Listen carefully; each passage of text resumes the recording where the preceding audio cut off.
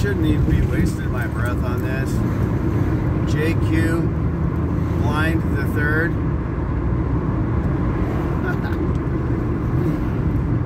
the number five in the sky has nothing to do with you, bud. Unless you're Jonathan Kleck under a mask.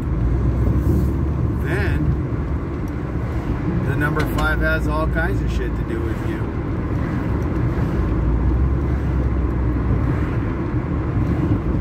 Why don't you pull off that mask and show us who you really are there, Johnny boy? Huh? Everybody knows Mr. Nose Hairs, so why don't you just pull the mask off and show us who you really are? Show us that female face under that mask. Because we know you're a female. True story.